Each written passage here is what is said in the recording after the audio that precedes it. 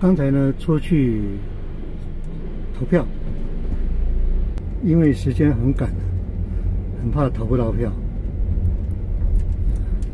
托老天爷的帮忙，一路上交通都很顺利，所以呢投票的事情还是完成了。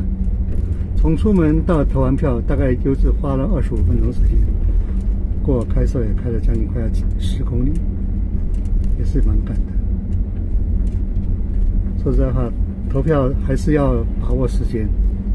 台湾的投票时间是早上八点到下午四点，我出门时间是下午的三点二十分，投票截止时间是四点钟，顺利的把票投完了，心里还是挺开心的。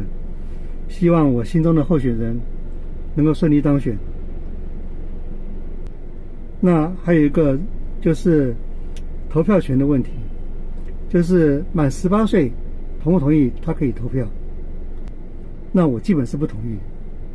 你在十八岁的时候，如果你去投票，你在那个前前后后，事实上你正是在准备要考大学的时候。